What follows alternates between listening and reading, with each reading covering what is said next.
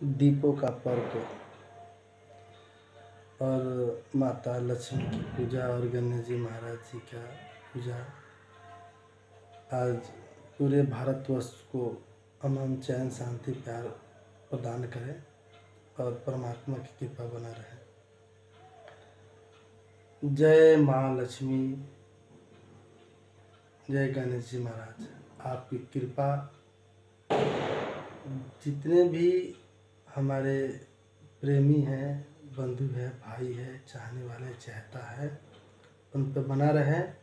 और जो भी ये वीडियो को देखे, उन पर भी बना रहे। और दिन दुगुना हो और रात चौगुना हो। धन्यवाद धन्यवाद धन्यवाद। आप सभी को फिर से दीपावली की बहुत बहुत शुभकामनाएँ। माँ महालक्ष्मी की कृपया आप सभी पे सदैव बनी रहे। ऐसी मेरी माता लक्ष्मी से आपके लिए मंगल कामना है।